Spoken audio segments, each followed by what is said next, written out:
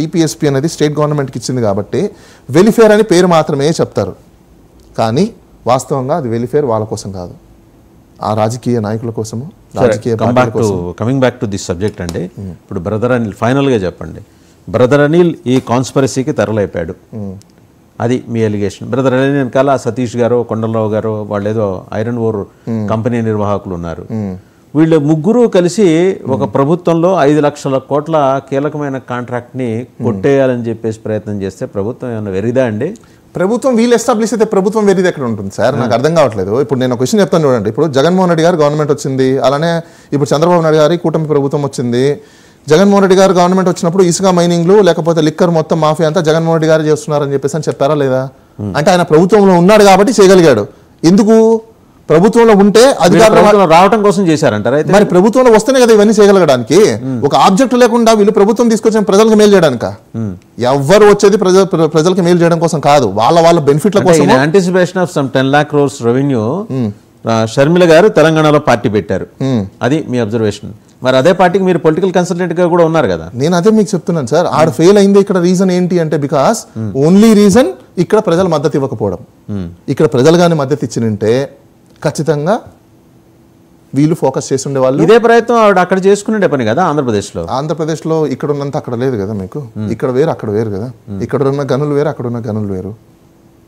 ఎందుకు ఖమ్మం మీకు అంత సింగరేణి మొత్తం అక్కడే కదా డిపెండ్ అయి ఉంది? సింగరేణి మొత్తం అక్కడే ఉంది.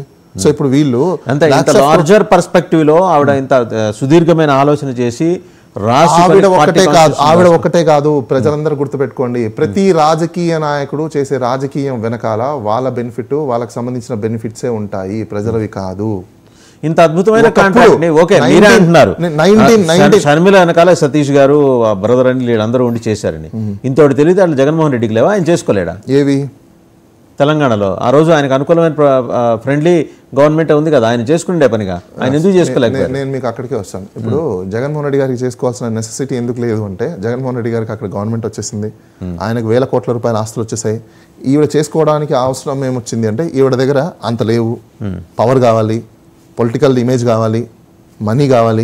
ఇప్పుడు ఇవన్నీ కావాలంటే ఏదో ఒకటి చేయాలి కదా. ఈవిడికి మిషనరీస్ నుంచి ఆయన సపోర్ట్ రాలేదా మరి ఆ టైంలో మిషనరీ నుంచి వీళ్ళు వీళ్ళే వాళ్ళకి మిషనరీ పెట్టాలి తప్ప మిషనరీ వాళ్ళు ఎవరు ఇవ్వలేదు సో అన్ని విధాలా ఈవిడ నష్టపోయారు కాబట్టి ఈరోజు పొలిటికల్ పార్టీ పెట్టి ఆవిడ నష్టపోయారన్న వా- మాట మాత్రం వాస్తవమే. అందులో డౌట్ లేదు. ఆ నష్టాన్ని ఇప్పుడు ఆవిడ ఏ విధంగా రీఫిల్ చేసుకోవాలి? ఏ విధంగా రీకలెక్ట్ మీరు చేసుకోవాలి? మీరు ఇందాక చెప్తూ అడ్వకేట్ చేస్తూ వస్తున్నారు. అన్న మీద బురద జల్లితే వచ్చేస్తుందా అని. ఇప్- ఇప్పుడు మరి ఈ డాక్యుమెంట్ రెండు వేల పంతొమ్మిది నుంచి రాంది ఇవాళ ఎందుకు వచ్చింది? రెండు వేల పంతొమ్మిది నుంచి డాక్యుమెంట్ ఈ రోజు ఎందుకు బయటకు వచ్చింది? సో ఇప్పటికి ఈ ఈ కాన్స్పిరసీ మీకు కనెక్ట్ అయిపోయింది కదా? ఆ? ఇప్పుడు ఒక ఫైవ్ మినిట్స్ మనము అసలు ఈ డాక్యుమెంట్లో ఏముంది ఏంటి అనేది మనం ఒకసారి అది కూడా మనం క్లియర్ చేసుకుందాం. Hmm? టైం కూడా పూర్తిగా వస్తుంది తొందరగా. కంప్లీట్ చేస్తాను నేను. ఈ డాక్యుమెంట్లో పారాసి ఉంటుంది. ఒకసారి పారాసి ని జూమ్ చేయండి.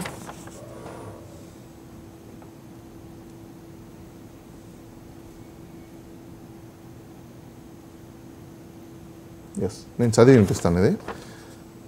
Some of the subject properties are subject matter of certain ongoing legal proceedings under the prevention of money laundering act so and so so and so అంటే ఆయన క్లియర్ కట్గా ఎఫ్ఐఆర్లు ఏమున్నాయి ఏంటి దానికి సంబంధించిన అన్నీ చెప్పుకుంటూ వచ్చాడు. ఈవిడ మాకేం చెప్పలేదు అని అంటున్నారు కదా. టైం లైన్స్ ఒకసారి ఇక్కడ ఈ టైం లైన్స్ని కూడా జూమ్ చేయండి. ఎస్ ఓకే టైం లైన్స్ కూడా వాళ్ళు ఏం రాసుకున్నారంటే final order of the matter. అంటే అన్అపీలబుల్ ఆర్డర్ ఏదైతే ఉంటుందో దాని తర్వాత చేసుకోవాలని ఇచ్చారు. చాలా ఇంకో ఇంపార్టెంట్ పాయింట్ నేను మీకు చూపిస్తాను. ఈ హైలైట్ చేసింది ఒకసారి జూమ్ చేయరా? సో రైట్ అండి మనం we'll discuss all the other points అలాగూ